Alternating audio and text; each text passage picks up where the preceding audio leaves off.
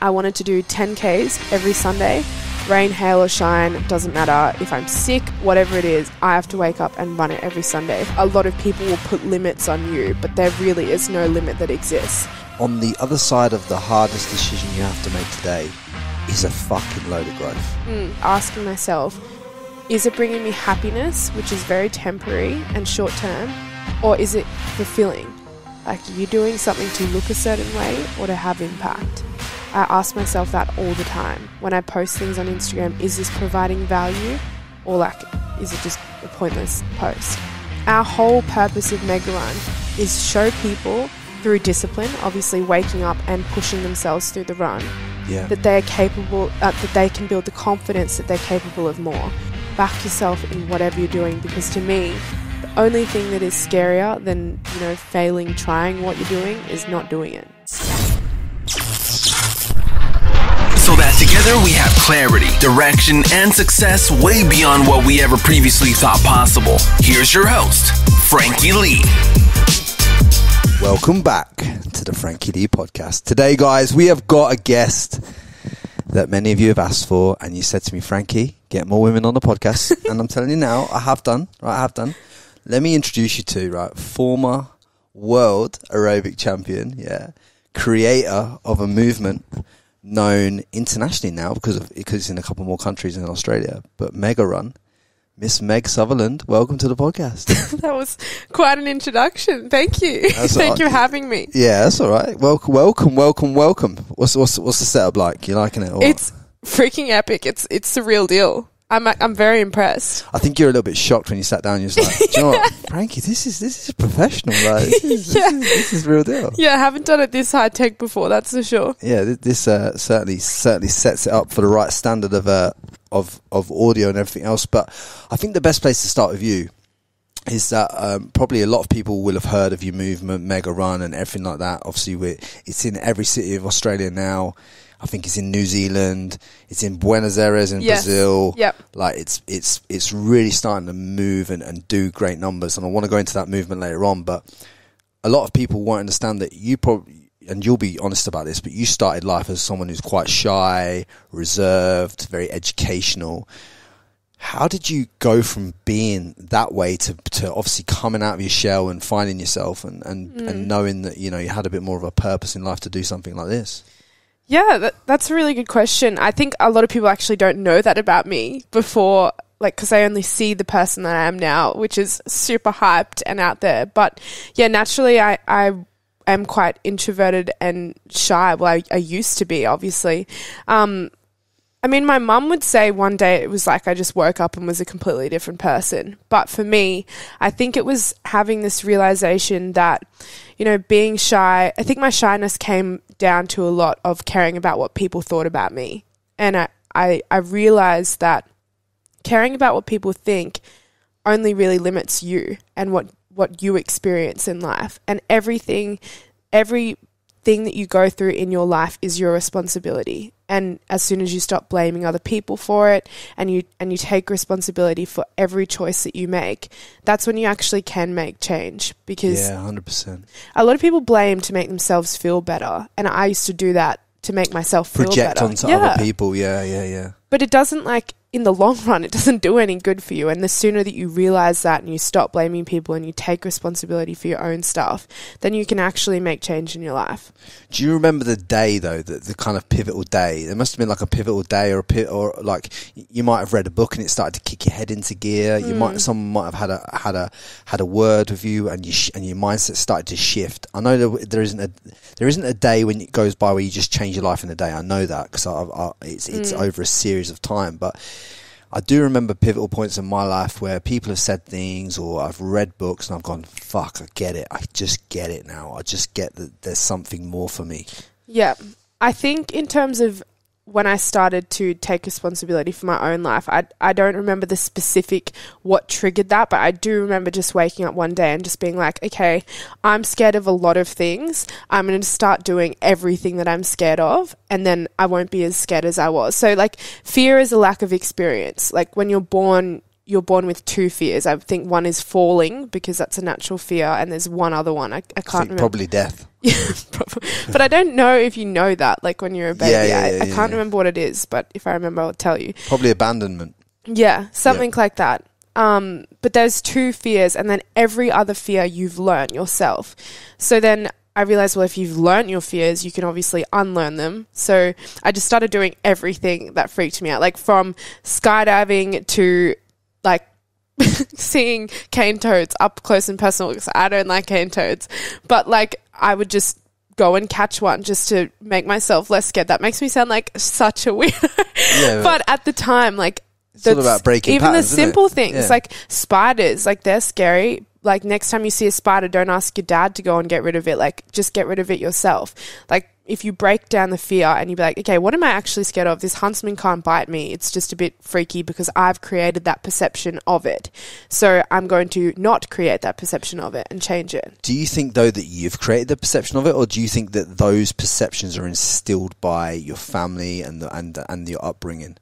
well that's your responsibility too. Yeah, like you you're a product of who you're around and not saying that like my parents made me afraid of huntsmans but of course if you if someone else is scared of that you you naturally Yeah. take that on. That's what I mean. You you take on what's in your environment, and obviously it's only at a certain age when you become more conscious Mm. to this that you can take control of it. yeah And that's probably in your teenage years, your later teenage years, when you start to have to take responsibility. But Yeah. so many people are going through life that have delayed it, delayed it, delayed it, and they're still in their forties and they're not taking responsibility for themselves. yes You know what I'm saying? To take responsibility of yourself this early in life is is a massive like game changer for you. yeah Do you know what I'm saying? it's it's pretty cool and i think at the start of the year um in terms of I had a big career path, which I'm sure we can talk about career path change, we can talk about later. But one of the biggest things that I realized is that, you know, a lot of people will put limits on you, but there really is no limit that exists. So,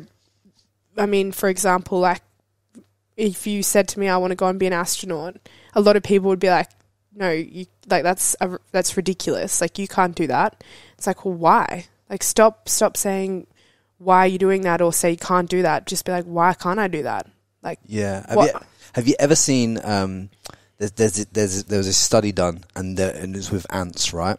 And you can put an you can put ants on a on a piece of white paper, and Yeah. you can draw a black line around the ant in biro, and the ant won't cross the black line. Really? Yeah, because because because it but it, and and if you keep making the it smaller and smaller and smaller, it it it it, it confines it, and what that's what that's trying to. Sh- the, what the metaphor I'm trying to say is that w- people's people's minds sometimes you have to go over that black line to expand your mindset to expand what you think about and how you think about things. But- yeah, But, a lot of people are constrained by these invisible Perception. line, invisible lines and perceptions that they've built around themselves that aren't mm. that aren't the truth. That, Yeah. that, that have no that haven't.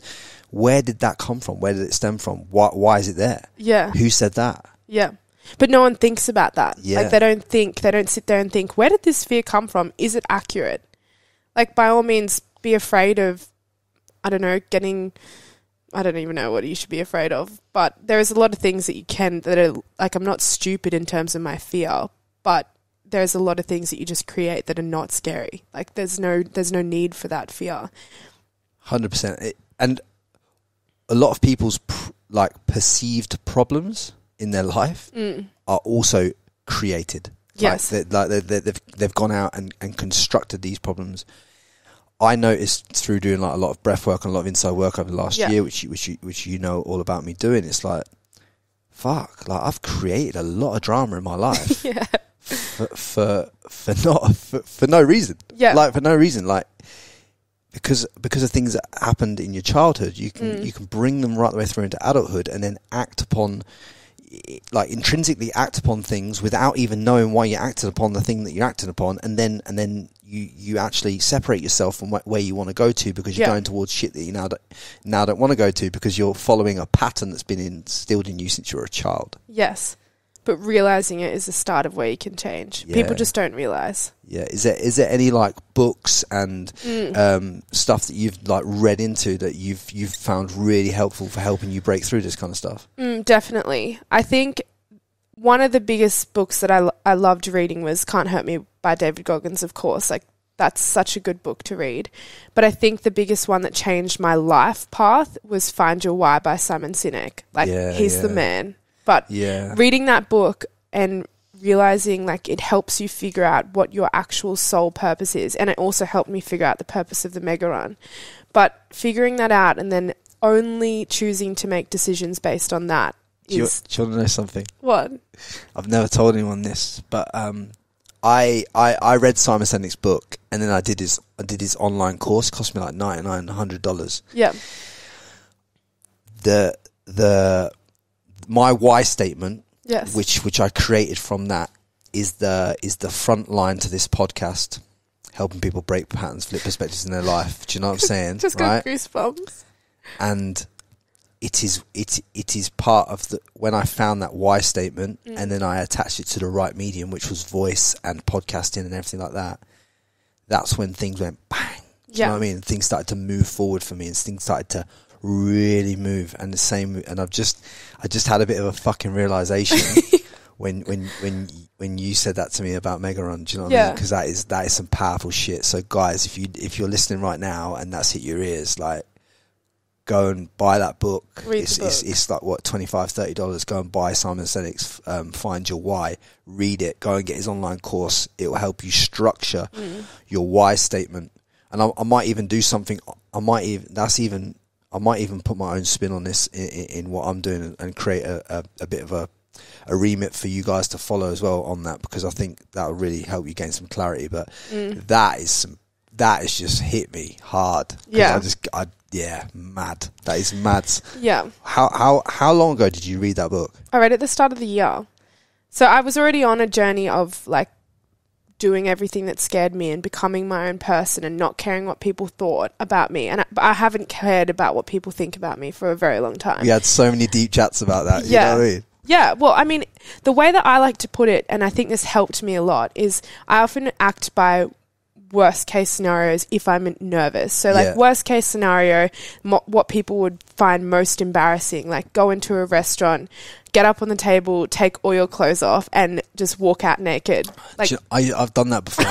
yeah. Oh my gosh, what are you serious? well, I mean, that is like I guess for some people that would be the worst case scenario. But then like when you think about it, people will talk about it for like maybe 1 hour if that and then it's old news. Like people are so like we think that everyone cares so much about like ourselves. Like I'm thinking you care about what what I'm doing. I'm like, no, everyone is so invested in themselves. They don't even realize what is going on around. So stop thinking that everyone is so obsessed with what you're doing. Yeah. It's, it's almost like a selfish mindset to care what people think about you. Yeah, because because if you're caring about what others think about you, you limit your opportunity to make change in the world Yeah. and to impact the world the way you should be impacting the Yeah. world. Like if I if I if I got so invested around whether fucking trees are from Melbourne like my fucking podcast or not, then I'm not really I, I'm not really changing the lives and helping the people that I could be helping. No. Do you know what I mean? Because every some people are going to like you, some people are going to dislike you, but the, Yeah. uh, the the moment you you kind of free yourself from the judgment of having to worry about the fact of what anyone thinks of you, Hmm.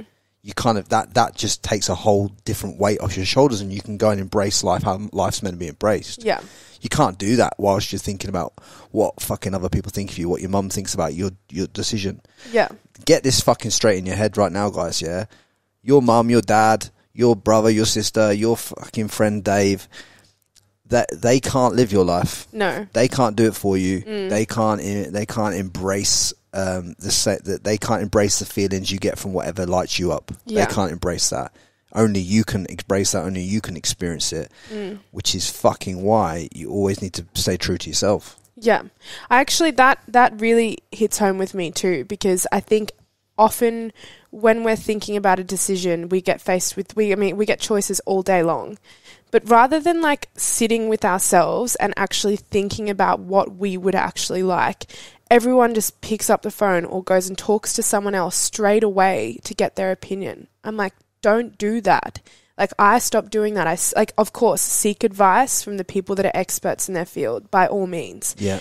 But first of all, just have a think about what you would like. Like genuinely think about it. Like, okay, if you go to someone and say, "What should I do with my life?" they will give you maybe what they want to do or like do you think that I can go and do my solo skydiving course like you might be like no that's crazy but I know I can do it like they're Yeah. going to give you whatever they think they're capable of Yeah, hundred percent. I remember, I remember from your journey, right? You came up to me one day, and you were at a point in your life where you were deciding, like, which clothing brand to sign with. Yes. And there was a lot going on in your world. yeah And I and I remember saying to you, you already know the answer. yeah I remember that too I said it to you. I, I took you to one side. I said, you already know the answer. There's nothing I need stop to say. asking yeah You don't need to ask. You not. It's not. It's not me. It's not Mm. any. Stop asking everyone else. Like, this is you. yeah Do you know what I mean? Like, you know. mm. You already felt it. You've already felt it. yeah You're nervous because the commitment to one means you can't commit to the others. Yeah. But you already knew, didn't you? yeah 100% The day you asked me, you fucking knew. you? I know I know but I, I you just get caught up you get caught up. Yeah. You just get, well, I think you get afraid of making the wrong choice. But like, the sooner you can stop being afraid of failing, the, the better. Like, fail fast. Like, you want to fail because it teaches you so much about learning what not to do. That's, that's a, that's a big realization I've had. It's like, you are going to fail. And if you're not failing, you're not going hard enough. Like, Yeah. go and make the mistake fast and learn from it so you can move on. You aren't failing though. Yeah. So it's it's it's learning. It's feedback. You need Yeah. feedback from the marketplace in order to improve whatever you're doing. Yeah. Like the the fastest way to learn how to be an unbelievable podcaster or unbelievable athlete is to get hit in the face a few times. Like, Yeah. Do you know what I'm saying? Like yes.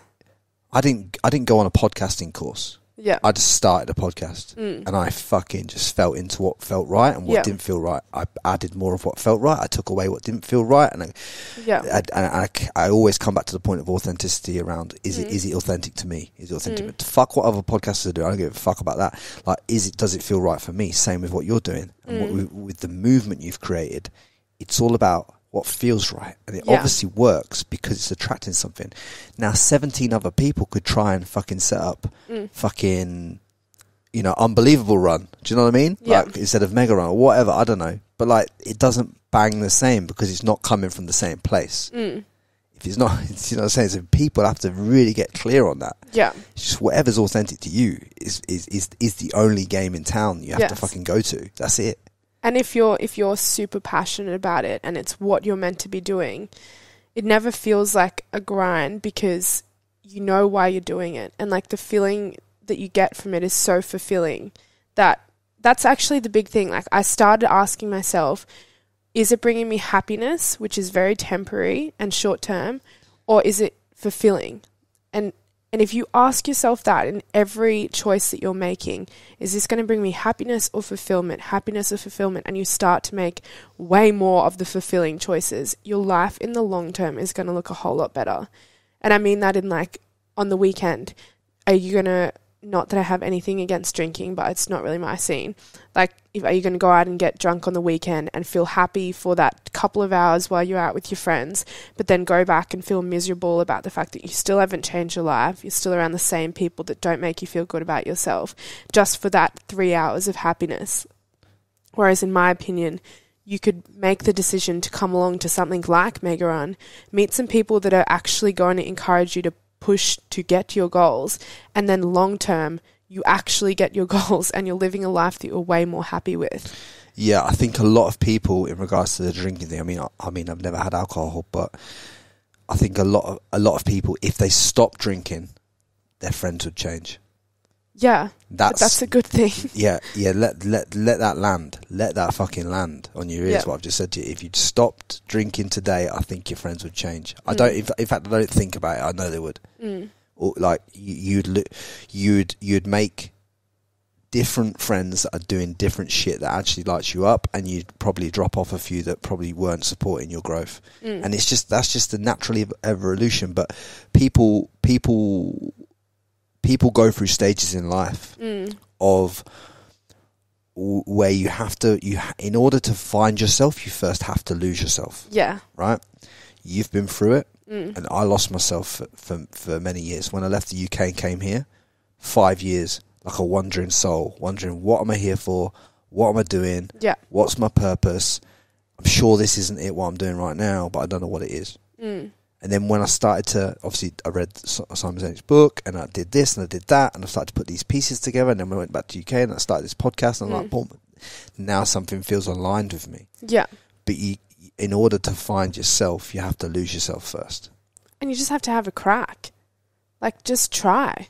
People like I didn't know what I wanted to do. I didn't think if you asked me at the start of the year I was going to be doing a a run club. P.S. It's not just a run club. I just want to emphasize that Yeah, it is yeah. definitely a hive club, but like I did not think that. And if you ask any of the people, I always like to look at people who are really succeeding in life. If you ask any of them, the one thing they will say is so many people told them that their idea was stupid and that it would never work, but Yep. because they believed it, they made it happen. And also how much their friendship circles changed. So and, Yep. and it all started just because they believed in it and they just had a crack and they kept on knocking on those doors. They did not give up. Like actually Shoe Dog is a really good book to read too. I don't know I've if you've it. read that. Yeah, yeah, I've- started reading it. It's it's a I've not finished it yet, but he just gets faced with so many challenges and then you look at the empire that is Nike or Nike what everyone whatever everyone likes to call it but you look at that and you think this dude just believed in it so hard that it didn't matter what he was faced with he just kept going after it and imagine if everyone in this world was doing what they were passionate about how much happier everyone would be there wouldn't be as much hate. not, at all The, yeah ha- the hate would dissipate yeah because if because if you're happy with yourself, there Mm. can't be hate. yeah There can't there can't there can't be any animosity. yeah Society wants to keep a little bit of hate Mm. because that keeps the status quo. well, it makes them feel better about what they're doing because they're not happy. Yeah, and and and and happiness is a happiness is not something you you don't just open the door one day and find happiness. Mm. Happiness happens, in my opinion, by learning more and more and more about yourself. Yeah, By sitting with yourself, uh, being alone sometimes, by making Mm. decisions by yourself that are really fucking hard for you to make. But the more hard decisions you make, the better you get at making hard decisions. mm. And that is so, so critical because on the other side of the hardest decision you have to make today is a fucking load of growth, Mm. a lot of growth. And Yeah. you have to be willing to make the hardest decision that you've ever had to make in your life right now. Mm. And if you don't make it, you are just you're going to have to make another hard decision or more hard decisions down the track anyway. Yeah. Like, you never get away from the hard decision. The Yeah. hard decision just gets the can just gets pushed down the road. yeah, You just you just push it That's further and true. further and further away. yeah. So give us break break down to, to to everyone listening like what what were you doing at the start of the year that was so different uh, in terms Mm. of like alignment to what you're doing now?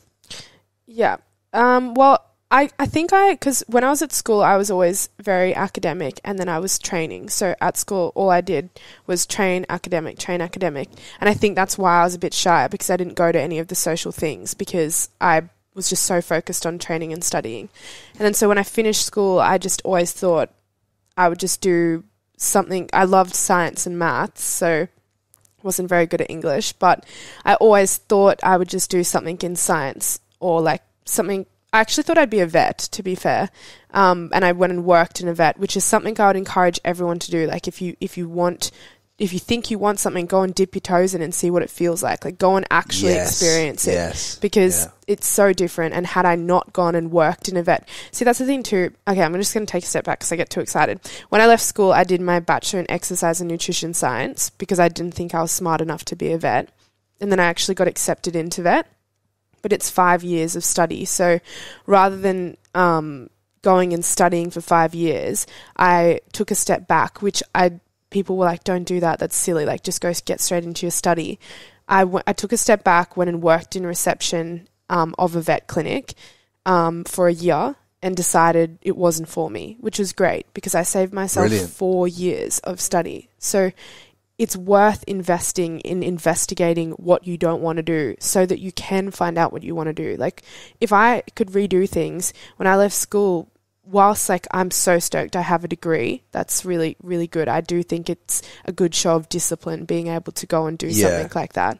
But I would just say if there's something you want to do, just go and get amongst it and see if it's actually what you want to do. Like if you want to be a property developer, go and work for a property develop develop a volunteer a year of your time, just seeing if you like that. Or like if you want to learn how to do podcasts, go and sit in someone else's watch Frankie do sitting doing podcasts for a couple of months and see if it's actually what you want to do because otherwise you're going to waste all this time trying to figure out what you want to do and then like investing in degrees and time. Like time is what matters. And then you come out and it's not even what you're passionate about and the reason why I'm so passionate about this is because after I decided I didn't want to do vet I didn't know what else I wanted to do I knew I was passionate about health and fitness and like that's sort of all I knew. So I got offered a job, very well paying, um, at a physio if I studied physio. So then I started studying physio last year during COVID, and I remember sitting in the classroom and looking at around, looking around at all these student physios being, and they were so passionate about it. I just remember thinking like, why are they so passionate about this? Like, So this is boring. not what I want to do, like at all. Um, and then obviously I didn't it wasn't until I read Simon Sinek's book that I thought, okay, well, I definitely don't want to be a physio. I still didn't know what I wanted to do. And completely honest, like my family wanted me to continue my studies because we it was important that we had an academic basis because we were smart people. So I thought that's what I was supposed to do, something academic. Um, and they encouraged me not to defer my degree, but I ended up deferring the degree for a year um, and just saying I'm just going to try and have a crack at things while I'm young. I might as well fail while I don't have a whole lot of like I don't have kids, I don't have like a mortgage to pay. Um, It's the best time. It's the, Yeah. best, it's the best time that you have to It's go out. yeah. hundred percent. It's it's it's try lots of shit, yeah, fail or learn lots of times, yeah, and enjoy yourself like whilst you're doing it, and you're going to get a lot of life experience doing that. yeah. That's how that's how you gain the life experience. And that's what's priceless. You can't. No one can give you life experience. Like you have to go out and do it. You can't go and learn a degree on it. Like doesn't. And I'm so pro academics. Like I love academics, but it's not for everyone. So don't be afraid if you don't feel like it's not for you. Is that when you went? Did you go from physio then to being like a one to one personal trainer? Yeah, I did PT um, just to sort of dip my toes in there, see if I liked it. I, I never thought, um, you know, I've always liked, I don't necessarily like social media, but I like that. Well, I think there's a lot on social media now that is not real. And I like that social media gives my, myself the opportunity to give value to people that I know is real. So Yeah. I, I like helping people because I know when I help them on Instagram or whatever it is, that what I the advice I give them is legitimate because I do have a degree in it. So any advice that I give, I know will actually help people because I've seen so many people close to me finally be ready to change their lives, like go on weight loss journeys or something like that yeah, yeah, yeah. and then go on and buy something from someone. And this isn't everyone, obviously, but there is a lot of fake stuff on there. And go and buy a program off someone and try and do it, and it doesn't even work, and then they give up. And yes, that's something that they've got to work on, that discipline and that sort of thing. But I'm really passionate about giving people actual valuable help. Ex- executable help. Yeah, like executable. help, something that actually will help them and it's not just like it's not for my gain like i actually just really want to see people be the best versions of themselves and that's that's how mega run has started pretty much So when when you came, what was it that helped you kick off the idea of having a run club? Then I know it's not Yeah. a run club. It is a run club, but it's, It's not a a run club. club, yes. Yeah, yeah. Well, yeah. All right. Well, you know what I mean. Like, yeah what, what, what was the where, where? When did all that come in? well Because it seemed it seemed it seemed to start, Yeah. and then it seemed to go. whew, yeah And I was like, what's happening look, I was looking around like, well, that came out of nowhere. Yeah. Do you know what I mean? Yeah. Well, I, I I was doing PT at the time, and then I had run, I found, okay, so I'd run a marathon in 2019, and that was like, that was when I was reading David Goggins' book, or maybe listening to his podcast. I don't know if he'd written a book by then. I think I was, I listened to one of his podcasts. That actually was a big change. It was Rich Roll and um, David Goggins. And in my head, I just thought David Goggins was over 100 kilos and ran 100 miles or 100 Ks or whatever it was for his Yeah. first ever run. No excuses, just hard work. And so I thought, well, if he's done that, like I can do it. So then I just went and I registered to do the marathon in 2019 off no training, and I just went and did it. I was like, I'm gonna run, walk, or crawl. Like I'm gonna, I'm gonna get it done. And so I went and did the marathon, and then I did. Um, I just realized that, you know, it obviously takes you to a lot of places. Running always does. It cl- it clears your head. It it makes you because you're alone. It's an individual thing. It just it makes you think about things. But I realized that doing a marathon is like a once off discipline. It's obviously really hard, Yeah. but it's once off. It's way harder to do something every single week that is challenging. So I just wanted to get better. I found myself starting to procrastinate a little bit. So I, I decided at the start of last year, well, this year, we're still in this year, almost gone, um, that I wanted to do 10Ks every Sunday, rain, hail, or shine, doesn't matter. If I'm sick, whatever it is, I have to wake up and run it every Sunday. Because that was actually when I moved to the Gold Coast, I found it hard to find friends that didn't just want to go out and party every weekend. And same with me, I don't drink. So it, it is, I found it hard to, you know, I started drinking, like I wasn't drinking a lot, but I would go out with people and have a drink. And I'm like, I don't even like drinking. I'm not enjoying the conversations that I'm having while I'm out. It's not me. I'd ra- much rather be going rock climbing and doing things on my weekend. So then, but people pester you to come out every Saturday night. Yeah. But then if you, I realize that if you say, sorry, I've got to run Sunday morning, they just go, they just go, oh, that makes sense. No worries. It's so weird. So, it, so that's why you put it on a Sunday. I wonder why you put it on a Sunday. but also everyone said don't put it on a Sunday. No one will come. So, but the perfect, like it, it is on a Sunday because the right people will come. yeah, I love that. Yeah. I fucking love that. It's That- only the that frothers. Hits really hard. Yeah. it's really hard. Mm. Yeah, I like it because I remember back in England, like some of the lads from the boxing gym would run six miles on a Sunday. So six miles is about it is about ten k. Yeah. it's about ten k, and you know doing that on a Sunday after you've ran probably two or three miles a day Yeah. a week, it's like it's on like Donkey Kong. You can't. You couldn't go out on a Saturday night and, and stay up till eleven o'clock because Yeah. you'd never ever make it on a Mm. Sunday Yeah. it's that discipline, that instilled discipline Yeah. that, that set that that that is the one percent daily that we're talking about. Yeah. That thirty seven percent at the end of the year improvement that you make Mm. is down to what you do on that day. Yeah. I mean, I get up early on a Sunday, and what I'm doing on a Sunday is is the one percent discipline of getting this podcast ready to put out to the Yes. world on the either the Sunday afternoon or the Monday morning, whatever I decide is more appropriate for Mm. that podcast. But it's the one percent thing that I make sure is on a Sunday that I have No to get. Up. negotiation. Nah, Yeah. I can't. I can't be out. I, I want to be in bed by latest ten o'clock on a Saturday night Yeah. because I because that podcast Yeah. in the morning. That's that's that lights me up. Yeah. Why the fuck would I stay out later than ten o'clock? Because I'm lit up by this. Yeah. Obviously, at Christmas time and stuff like that, different. Yeah. But I'll but because I have more time around the other days, I can set things out to to, to so that you don't have to worry about it Mm. first thing. But I that's why I do that. Yeah. Similar to what- similar discipline, but I never looked at it like what you did. Yeah. But I realise why I do it. Yeah. Hundred percent. Well, in our, I think in our generation particularly, because everything is so instant, no one knows discipline very well, and I feel I feel like there's a lot of things where like you can listen to all these different things where people talk about how to change your life. They talk about it a lot, but unless you practically do things Yeah. and you experience it yourself. Like you can't make change. So I wanted to show people I actually never had an intention to make it into a thing that I shared with other people. But I realized that when I was running every Sunday morning, it was training my mind. Like it's practicing training that muscle. It's not even like about the running. The running is the tool that allows you to build the discipline. Because I also realized that being disciplined and showing yourself that you're capable of more, which is what Mega Run is about, is what builds your confidence.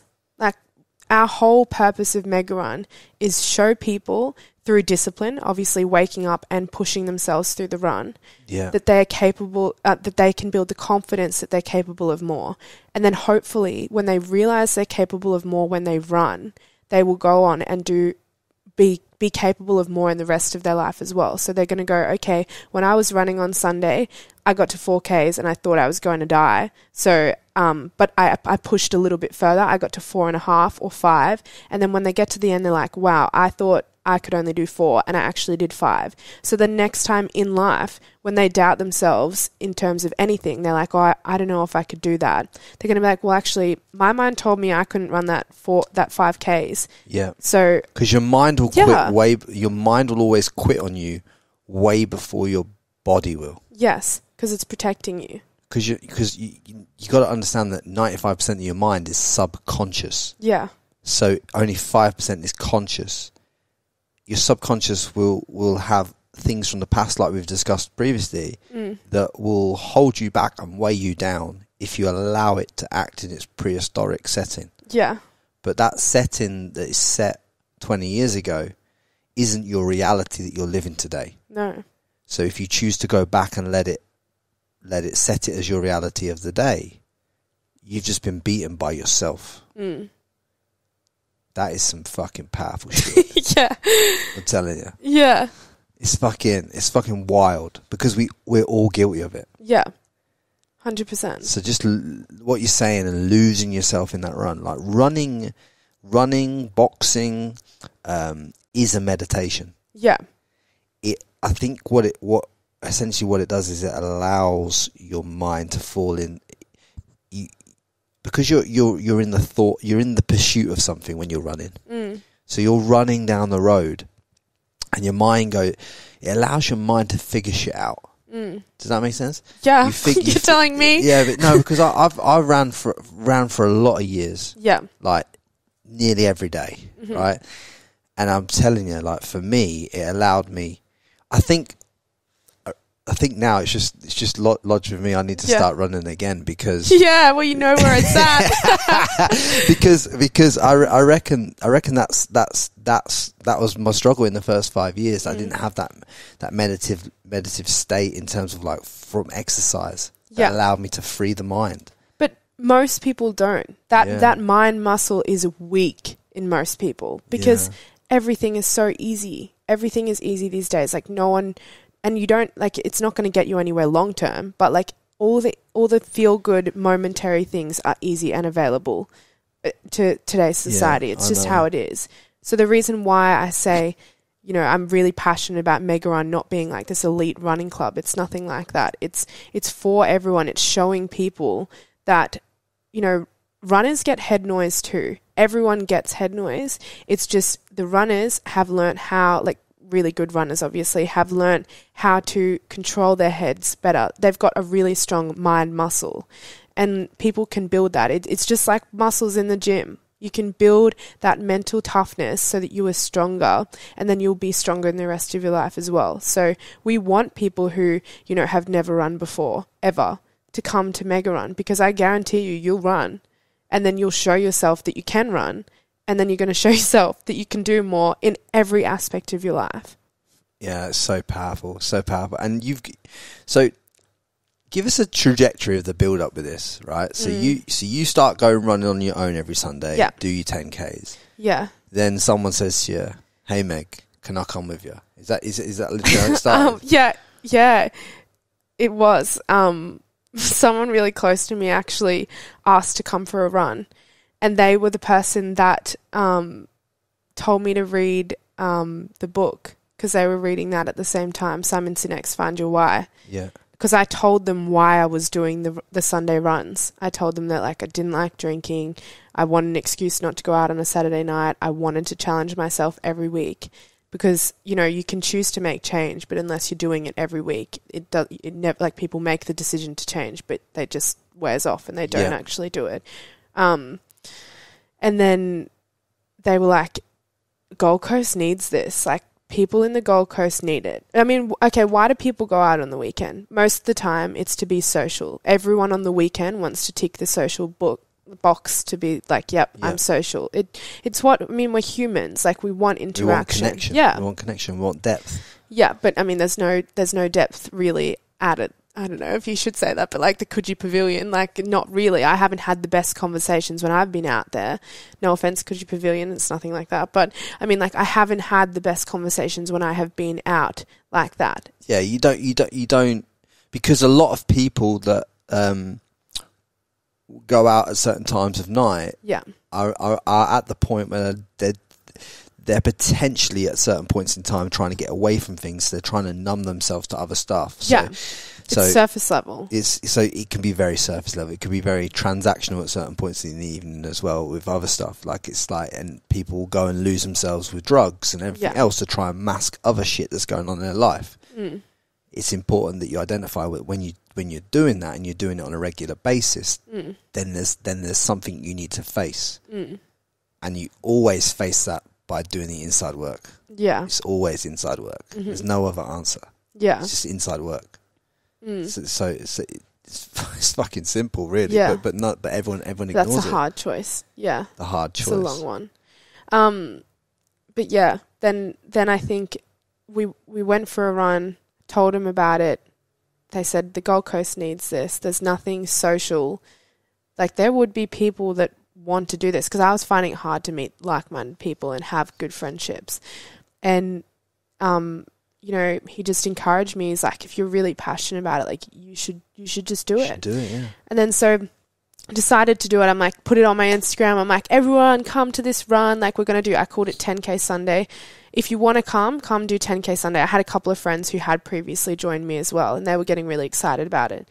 And then um, the very first one that I decided to do, bearing in mind, everyone had told me Sunday, such a bad idea, don't do it, no one will come.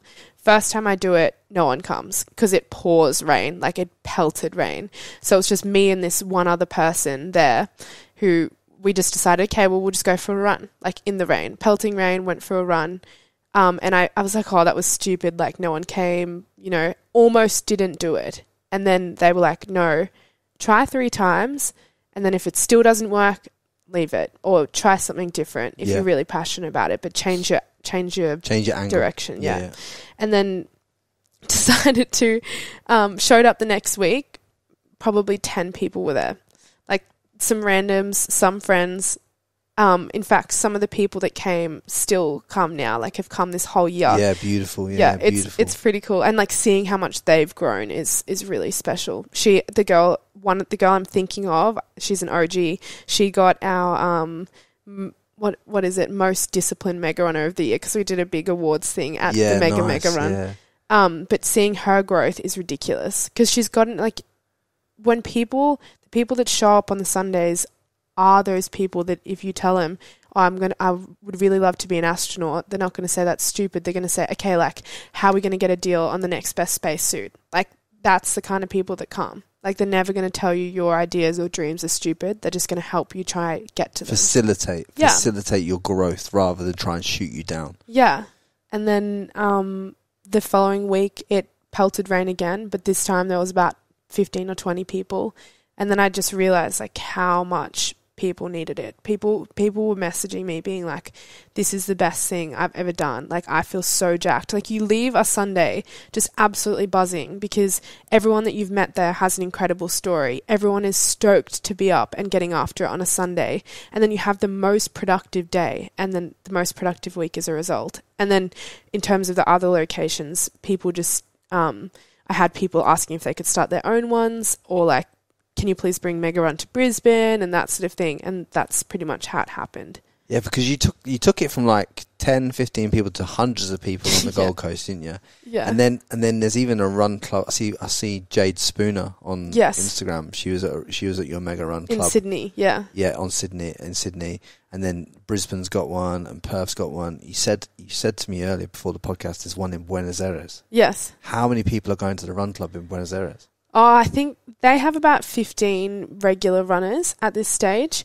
It's definitely like a lot of them are still in the growth phase. Um, and that's something, it's been a learning curve for me. Learning. to grow communities. yeah. because growing how, how is it growing a community Yeah. in a country you've probably never visited? it's challenging.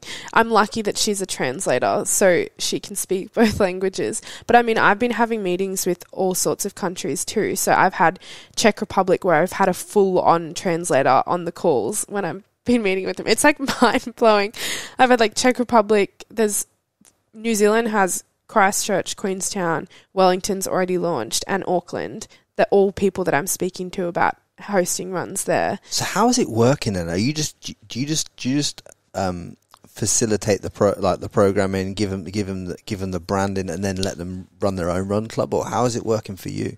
Um, I think I think the best way to do it is I I am cautious about who I pick to lead the locations because if you get the right people in the right locations, the locations always work. Yeah, It's just about the right person because the concept, the the running is there, it it works. Um, you know, the community aspect, the fact that it's on a Sunday, all of that is written into manuals. Um, like I've written everything up on how so I you've got SOPs on everything. what's an SOP? systems and processes. Yeah. Systems. Okay, go. like a SOP. Um, I just haven't heard it called that. Sorry, guys. No, Um, but yes, I do have I do have systems and processes. I didn't initially, but I because I didn't have the intention for it to be something like this, and Yeah, I just didn't realize how many people need it. I'm just buzzed that you've got them. Do you know what I mean? I don't care. I don't care if you know if you know the abbreviation or not. That's not the Yeah. point. The fact most businesses don't have systems of, systems of, of Yeah. processes in place. Do you know what I mean? Like they don't have that structure, and if you don't have that structure, you can't scale. Mm. So you you you, you how long? How, this I'm fucking hyped. How long? Yeah. have you, how long into it did you start putting those systems in place? Oh, probably, probably only about like two months ago. I started writing them. So probably when did I start? I, didn't start making Mega Run a thing until March. So probably a couple of months. But I'm I'm really lucky. I've I've got someone very close to me that has helped me a lot. So someone mentored you and got you to Yeah. got you to think about this. So Yeah. putting into a process. Then when you got a process, you can you can launch new locations. Yeah. So in in in your mind now for the next twelve months, Yes. how many locations are you going to launch around the world? Hmm. Well, I mean, I, I plan on making it huge, like global, very fast, be, but because I have those processes. But it's more important to me that I make sure the right people are running the right locations.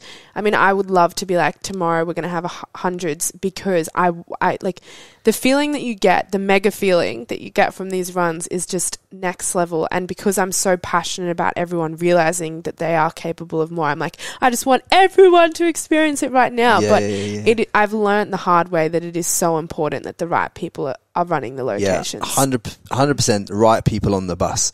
But it, I'm, I'm gonna, I'm, I want You a number. I want a down. number. I want a number. I want a Oh. number. I want an audacious, uh, not just a shit number either. Like an audacious number. Like if, like, what's what's your number for next year? Hmm. Audacious. Make it audacious. Audacious. Well, I have about there's probably about twenty at the moment, and I I probably am talking to about another seven right now. So maybe by next year, end of next year, oh, by end of next year, I reckon hundred. Double it. Double it, Double it. two hundred. You, yeah, you're, you're downplaying it. Okay. 200. Uh, 200. Yeah, you've got the systems in place. Yeah. and you're you're selling yourself short.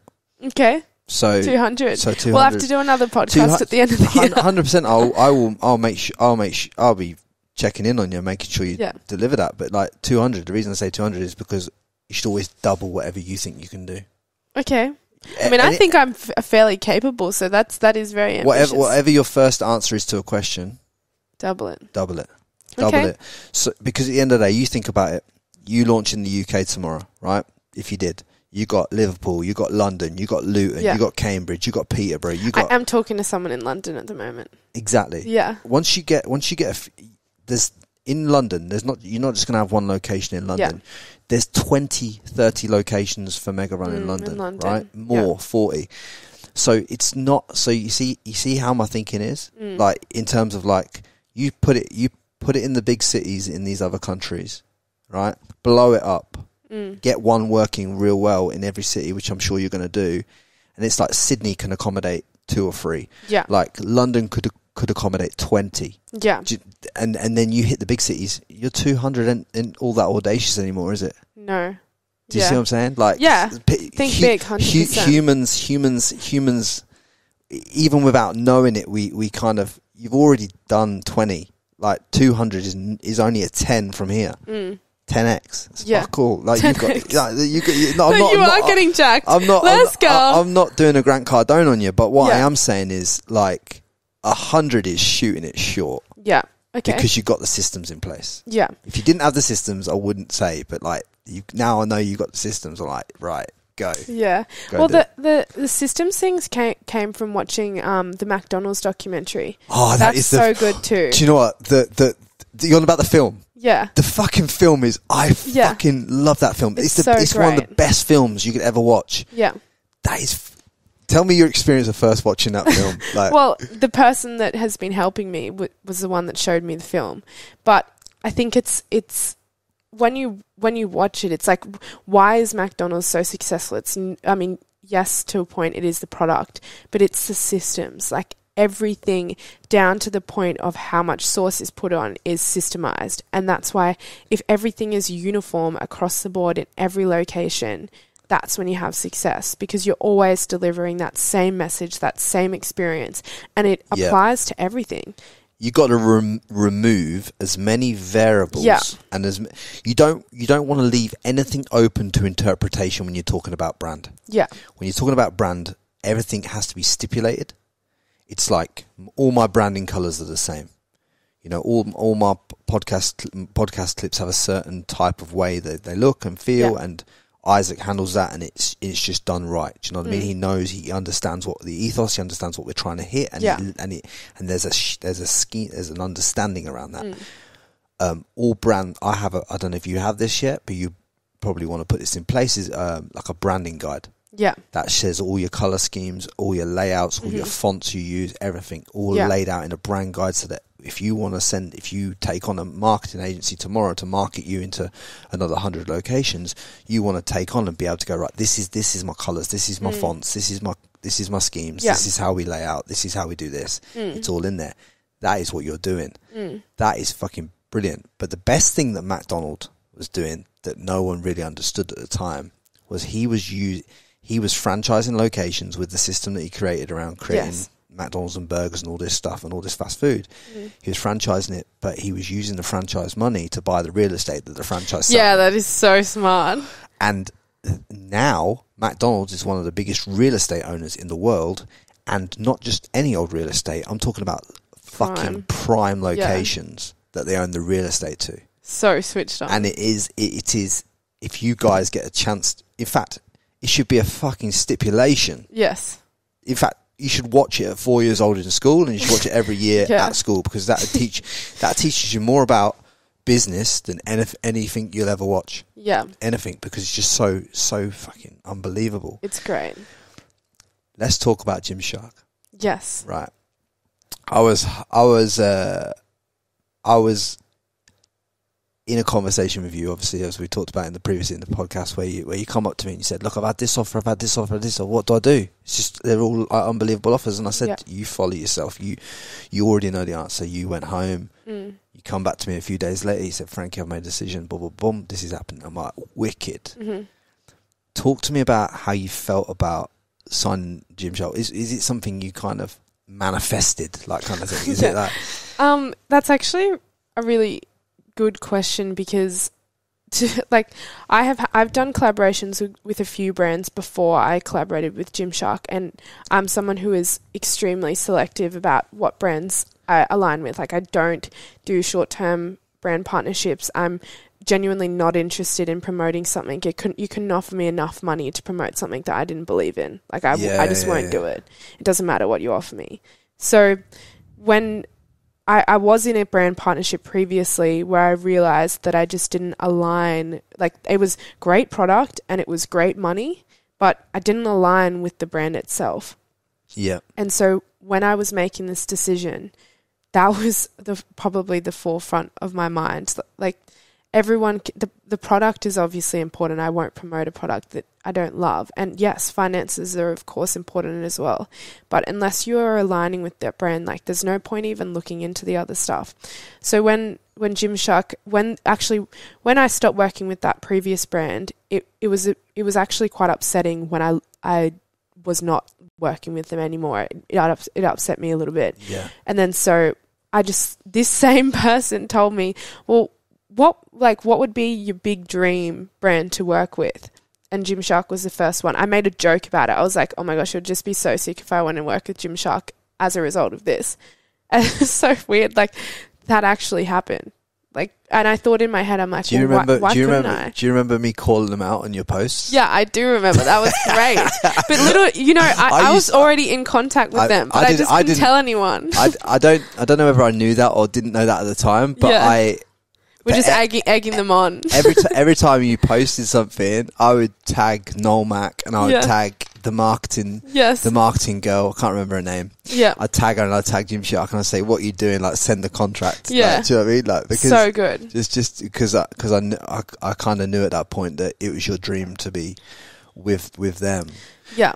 How have they been as a? How have they been, and how was the deal set out for you? Is it like a? Is it like a multi-year deal, or how does it? Is it month to month, or how does it work? How, what's the breakdown of that kind of thing? Obviously, not the financials, no one knows financials, Yeah. but like, what's the breakdown of the setting so that other people can understand how these deals break down, so they can set them up for themselves? Well, um, initially, normally I think most brands like you to be on a trial period, but for me, I felt like I was at a I was at a stage where I, I just didn't want to do a trial period. I knew I liked the brand, knew I wanted to work with them long term, and they agreed that they wanted to work with me long term. So we went straight into a year deal, Yeah, um, and then I had written in a review within six months because of the experience that I'd had with previous brands. So if I'm going to work with anyone, I'm going to go really hard for them. So, um, yeah, I was locked in for a, a year. am locked in for a year, um, and I'm just coming up to my six month review now.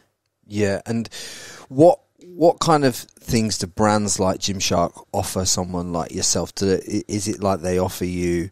Um, not obviously not just clothing and payment, but it, Yeah. is, is there any what what are the growth opportunities in terms of like Mm. the way that they expose you to to the world? Yeah. Well, being a part of a, a brand like Gymshark, I mean, one of the things that stood out for me was their their whole um, what's the word? Ethos is be a visionary, which is so sick. Like I love that.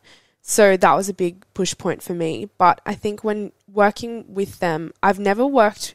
I feel like because they are so big, they're just mammoth. That I don't know, like they are so big, but they have managed to be so personal. Like when when it was my birthday, I got a present which was a camera, um, because they knew I wanted to start a YouTube, and it was like Meg a handwritten note like yeah, we're so stoked just to have you part of the team. Yeah, like a huge brand, but so personal and so thoughtful. Like it's it's seriously impressive, and um, I've al- I've always loved. To be honest, I have always loved the way like that Noel and Ben have moved that brand, yeah, like in the way that they communicate, and the way that that's translated through the marketing team as well. yeah, Do you know what I mean? And it, it is it is phenomenal the way they do communicate. Yeah. I'll, I'll watch I watch Ben's YouTube videos and that it's, Yeah. it's it, and it is it is inspiring stuff. How can you not be inspired by someone who's gone from um, printing their own sewing t-shirts his and own sew- stuff. sewing, you know, and his mum. Fin- how can you from from pizza delivery boy to fucking Yeah, multi-billion dollar brand? Like, because he was doing what he was passionate about. yeah, And he's never lost sight of that. I think like he knew his why. He knew why he wanted to do it and he's never strayed. Like their brand is so authentic. yeah. No, I agree. Is there any plans for you to go to the UK? Oh, I mean, I'd love to go to the UK. I have no idea at this stage, but that is one of the biggest things is you get connected to a lot of incredible athletes. Yeah, Gymshark signs incredible people, yeah. and and so obviously being a part of it, you meet so many sick people through it. That's probably the biggest thing. and the travel when the travel comes back online for you, the Yeah. travel and the, and the opportunities that you get will allow you to launch run clubs in other locations, so it should Yeah. natu- naturally align. Yeah, definitely. Uh, yeah, I'm, I'm very, I'm very much looking forward to traveling. Yeah, is it is is this is this it for you now in terms of partnership deals, or is there anything else that you're planning on doing? Um, no, I definitely am always open to work with other or partner with other brands. And in fact, since Mega Run, I have been quite frankly bombarded by brands that want to get involved because I think on social media, I'm sure you would know there's been a big shift from, you know, just paying people to promote things to Yeah, everyone cluing on that they're just being paid and not actually listening to their advice anymore. So yep, the, there's been a shift from paying these huge influencers to picking people like to communities. Like go to the people who are actually involved in the communities that authentically want to help.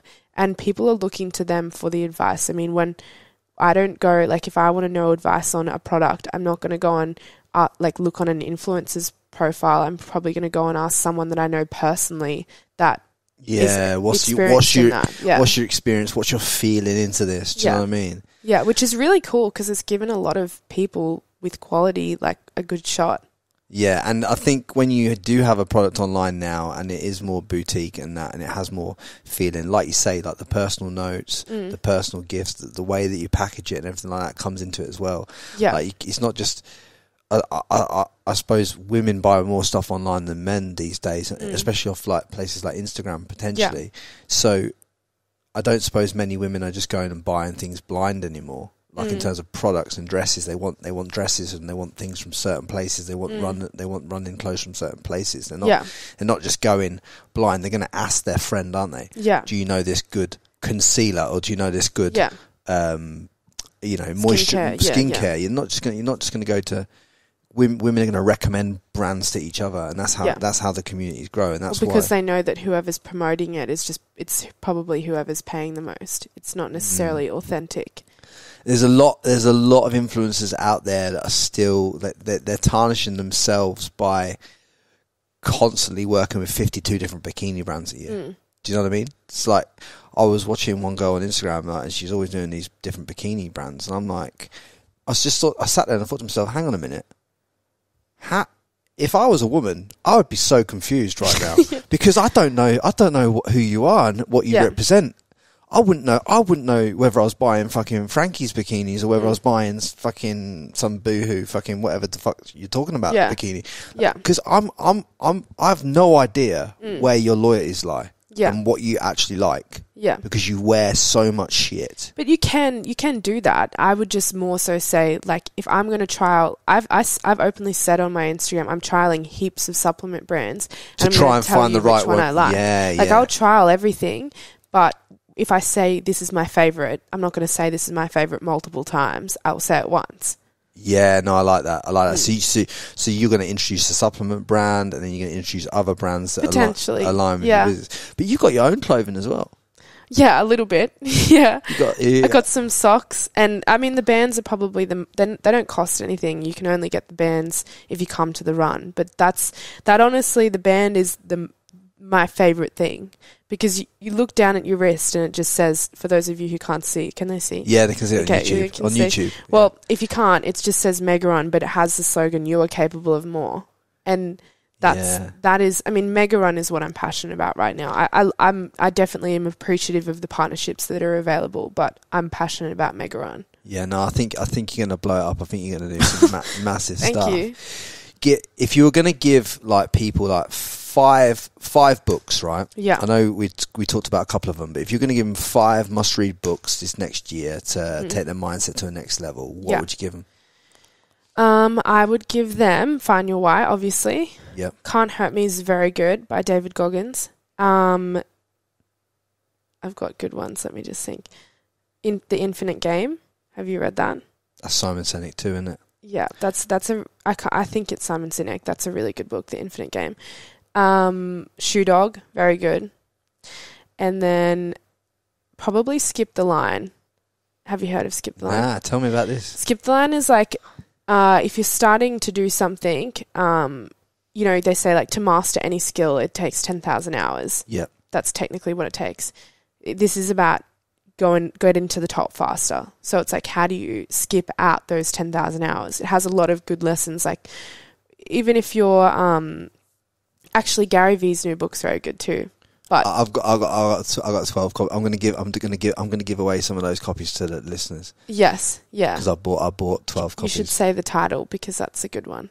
um, It's like uh, the I- 12 emotional the- ingredients uh, tw- towards no, business 12 and a half, 12 and a half. Yeah. 12, it's called 12 and a half. 12 and a half emotional And it's the, it's the emotional agree, the emotional ingredients that you need For you know, business for business success. success, uh, business and life success. Yeah. Yeah. And it's all about like empathy, ambition, Yeah. uh, courage. And he just breaks down these different uh, ingredients within within within you that you need Yes. and what they actually mean in like business terminologies, and then and then he gives you practical, um, real life situations on how these can be applied. Mm. And Those it's ju- six are good. yeah, yeah, and and and that book actually, and I'll give I'll give you guys a few copies. I'll do a giveaway on Instagram, something like that, and you know, put out ten copies because I got I got ten copies because because he he, he said he had this thing where he's like support me buy twelve books. I'll Yeah. send I'll send you this like Mm. limited edition NFT. I thought, well, the NFT is going to be worth more than the three hundred dollars I'm going to pay for the books, Yes. so I'll just give the books to the listeners. Do you know what I mean? Yeah. So I already had this plan in my head. So yeah, we'll do that. We'll do a giveaway. We'll actually Yeah. do. We'll, I, t- I tell you what. If I if I remember to do it on the back of this podcast, I'll do it on the back of your podcast. I'll give I'll give away the books on the back of this. That's great. yeah, and good I'll, idea. I'll, I'll we'll, we'll we'll advertise the books to your audience as well, so they can they get a chance to get them as well. Sick. And then I'll just mail them out because Yeah. as you mentioned it, like I I, I, I got literally got twelve of them. So yeah, sweet as that I, out. I I'd love to say to everyone, um, especially with Find Your Why, if you read the book, I'd encourage everyone to think about someone that needs to read that book. I want to start this book movement and write, someone did this for me. Write a message to that person and what you learnt from the book and what you hope they learn and give it to them and then they can read it and once they've learnt it they do the same and pass on to someone else. Yeah, when I when I when I read um, when I read like the, the the actual the content of Gary Vee's books, not the pra- I haven't read the practical examples of of application because I un- I, un- I already to be totally honest I already understand the application of the ingredients. I read the ingredients, which is half the book. Yeah.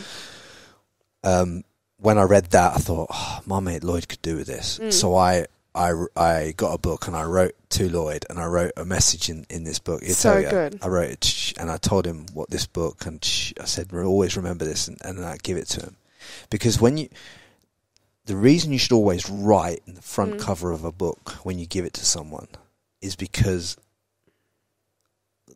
you want that person to read that book. Mm. You not only want them to read it, you want them to feel why you gave them it. Yeah. It's And an and, and when you when you put when you put something a personal message into a book, it, it, it puts the onus on that person that there must be some point in reading it. Yeah. And that's so important because Yeah. so many people have got books on their shelf that are just gathering dust. Mm. And the whole history of time is and the and the thousands of hours that people have learned in life have all been written down in books. The meditations Mm. of, of Marcus Aurelius. Yeah.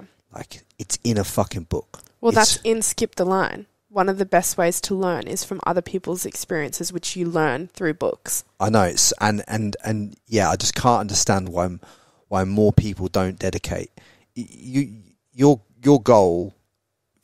Like you could have a goal this year going forward. Not, not you personally, but I'm talking about the audience. Could have a goal where you like you either read, you know, you can either break it down several ways. You can either read one book a month Yeah. if you've never read one book a month. hmm Break it down. If you've got 200 pages, break it down across 30 days, X amount of pages a day hmm you got, your goal could either be one book a month or 10 pages a day or it could be one book a week but you've got to have a you set yourself a goal at the start of the year because what you're doing is compounding your growth rate Mm. automatically because you're educating your mind you're you're not if as long as you don't go read obviously you can read Harry Potter and all that stuff if you really want to but Mm. if you read actual knowledge that can actually be applied in your life Mm. in the physical realm that you that we're in right now. So if you want to know more about marketing, Yeah. you could read a marketing book. Mm. That marketing book that you paid thirty dollars for and have instilled in your mind over six weeks might Yeah. spark an idea that earns you a million dollars Mm. and or, or allows you to sell a million dollars worth of product when you find so, so for argument's sake for you you might read a book like by Sabri Suby called Sell Like Crazy and you Yeah. might and you might build a funnel to your to your activewear brand and that might generate half a million dollars Yeah. that comes from books. That Mm. book costs you thirty dollars. The return on investment from reading is astronomical. It's Like ridiculous. you can't you can't well put it this way. I'm sat here one of the reasons I'm sat here living my purpose is because I knew I found out my why. How did I find out my why? I read a book. yeah. I read a book and I and all this other stuff and everything I found has been coming from the the, the two ways in life that you find things Mm. other after you've looked inward are asking other people's advice the right people Yeah. yeah and reading other people's lived experiences and and the way and the practical knowledge that they ins- they can instill into Mm. you. Fastest way to learn, isn't it? Mm. Just And it's also a discipline. it's another discipline. It's another Mm. discipline. I think the ten the ten pages a day discipline is the discipline that will compound the hardest for the most amount of people. Hundred percent. Yeah, I reckon if I reckon if you want to change your life, reading and get yourself around better people. What would what would be the other things that you'd implement? Mm, I mean, for those people that don't do it already, I'm a big believer in exercise and food. Good nutrition are the are the best medicines and everything in, in your life. If if you're not feeling physically well or you're not feeling mentally well, exercise will change your life, and a healthy diet will change your life as well. Yeah, Exercise, diet, reading, lots more water. better people. Like you're a product of your environment. It's why Megarun works. People come, they don't have good friends. They get around good people at the run because it's only really cool people that come on a Sunday morning. And then they start to hang out with those people during the week because they're seeing them every weekend. And then their whole circle changes. And next time when they're doubting themselves, what, like the friends are right there being like, no, you got this. Like, keep pushing. It's exactly what we do at Megarun. And then you keep pushing because your friends are there for you in your weak times and your friends are different. They're better friends. Have you seen some transform oh. transformations in people's like personal business and everything else on the back of that discipline? it's ridiculous frankie. Like that is why i'm so passionate about it. Because it's obviously changed my life running changed my life and that's why i'm passionate about it. But there is people that come to this run like people finish the 10ks and just burst into tears. But there is a lot of people that have had complete career changes just because running has shown them that they're capable of more. And they've had the right people around Yes. them to back themselves. Like people have fully changed their careers. Fucking that's some powerful shit. yeah. Because even even when I think about the messages and the fucking feedback that I get from this and doing what lights me Mm. up and the way it changes people and Well, their the belief. listeners too Yeah, that's what I'm saying. That's what that, that's exactly why I do it. yeah because it that's another thing when you when you're trying to build community and trying to build purpose and trying to build your why Mm. your why in life cannot be about you yeah has to be about something way bigger than you. 100% because there's fucking 30 people 40 people 50 60 70 100 people a day starting podcasts in australia. And yeah. they never get to episode 10 yeah. Because the purpose behind it and not doing it for the right reasons. Yeah, I I think that's made it come up in my head. You can never stray from your why. Because if my like if my focus shifts from rather than getting people to come and run and changing the people's lives that come to it to I want to see how many how big I can get these runs. And I f- take my focus off providing the value. You've just lost it. Lost lost the You- whole run. The run you- won't work. you you yeah exactly Mm. exactly. Like my only the reason I've never put ads on the podcast Mm. the reason I've turned down oh money, so right? sick is because I fucking love it right? Mm, I fucking love it mm. do you know what I mean there's there's no one supporting me it's all my own cash it's all me man like I go out and I earn money doing something that doesn't light me up in a lot of respects but I get to help people so it lights me up in that way yeah so I help people remove online content. I help people do stuff, Yeah. and then I get paid, and I take that money and I put it into the podcast to give away free value, doing something that I love. Right? But imagine if someone paid you and you started talking about things that you didn't love. Well, yeah, it wouldn't happen. It wouldn't happen. Like there's there's there's been people offered me like 50 Ethereum, promote this NFT, do this, do that. Fuck off. Like, Yeah. do you know what I mean? Do you know how fucking much purpose this gives me? I wouldn't. ch- I would not give away the purpose I feel by doing something that I love Yeah. for any money in the world. When you're on purpose, when you when you're doing things for the right reason, Yeah. I just know that, that that all you have to do is turn up and do the reps. The people will understand that you're fucking you fucking love it. Yeah. They will resonate with it because you love it. The money will come down the track when the Yeah. money is me- when the money's meant to come and when everything's meant to align, it will fucking align. Mm. But you have to serve the world in a fucking big way before that starts to come to you. Mm. It has to be about something bigger than yourself. If it's never about more than what you can earn, you'll always cap yourself. It'll always be about the money. It'll always be about just earning, doing something for something. Mm. Well, how's about we just start doing something because it actually fulfills you, actually fucking lights you up. Preach. It Yeah. fucking does though. It does. Yeah. Like you, you know how much I know how much your stuff lights you up. Mm. That's why that's why I invited you on here, and you know how much this lights me up because we've talked fucking many times about this. Mm. Yes. Do you know what I mean? Yeah. Along our journeys collectively, Yeah. and I just want to thank you for coming and and just just being real and dropping it on here as well. Like, if there's one, like if you if if you're leaving the planet right now, yeah, if you were leaving the planet and you, just you couldn't leave anything behind, but you just had to leave like the one pearl of wisdom, the the one paragraph or or something you could instill in other humans to take them forward in life, what would it be?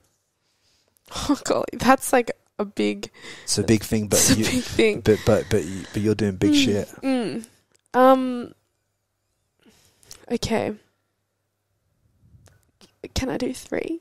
You could just let it flow. Okay. This is well, no, this, one this- thing. no, don't play the rules game. One thing I would um, say is it's important to ask yourself whether you're doing something to be or to do. Like are you're doing something to look a certain way or to have impact. I ask myself that all the time when I post things on Instagram. Is this providing value or like is it just a pointless post? Like yeah. it's really important. Um, the second thing I would probably say is um, back yourself. Like if you don't back yourself, like no one else is going to. And and sometimes it only takes one person to tell you that. But back yourself in whatever you're doing because to me, the only thing that is scarier than, you know, failing trying what you're doing is not doing it. Like imagine getting to the end of your life and being shown the person that you could have been and just being like, wow, I could have lived that life. Like I don't want to miss out on anything. I'd, I'd, I want to be the person I'm meant to be. I love it. Yeah, I giving myself goosebumps. That's terrible. Um, my last thing, I had something else, but I'd probably just say, you want to change your life, change the people that you're around, and have a crack. Yeah.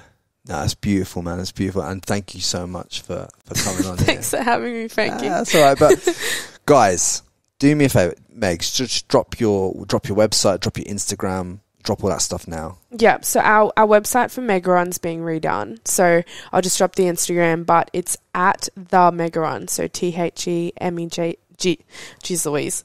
M E G A R U N, Megarun. Yeah, the yeah. Megarun. Yeah, Um, that's probably the best place to find everything. just drop your personal on there as well. Oh, my personal is just Meg Sutherland. So M E G S U T H E R L A N D.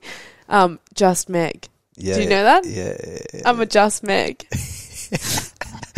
but guys, like honestly, I hope you've got loads of value out of this, and I know that a lot of it, a lot of this information will hit your ears at the right time, and Mm. I know that there's there'll be some parts that hit some of you like a steam train, and you just got to go away and take some action on it. If it hits you, if if if it hit you, if it, if you got what you needed to get out of this today, go and take some action on it. Mm. Do me a solid favor too, right? I don't ask you for a lot, right? And I'm not asking you for a lot. I'm just asking that if you resonate with this, send me a message, send Meg a message, join her run, join my community, tell your friends about this podcast, share it on social. That's all I ask of you. Do you know what I mean? If you, just, if you could do me that solid favor, that would that would mean a hell of a lot to me. And let me know how this goes for you. I hope it hits your ears at the right time. That's Meg Sutherland. That's the Mega Run. Let's go. Let's go. Don't forget to subscribe to the Frankie Lee Podcast.